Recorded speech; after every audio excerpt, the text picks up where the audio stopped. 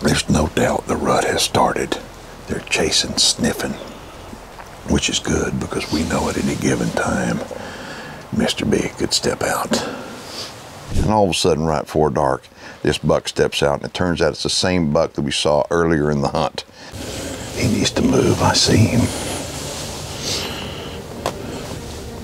He's got to move about two more steps to the right. He's right behind that.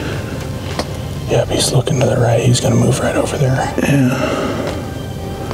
There he starts going. I'm not going to shoot him with his head down. I'm going to get him raise his head up. Here we go. Okay. Tyler, you ready? I'm ready. Hey!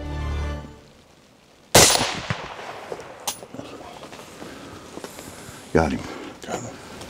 I seen him falling down. He just fell down. See him up on top of the Yep, opening? he just went down. All right, so check this out. This is my first true Columbian blacktail buck.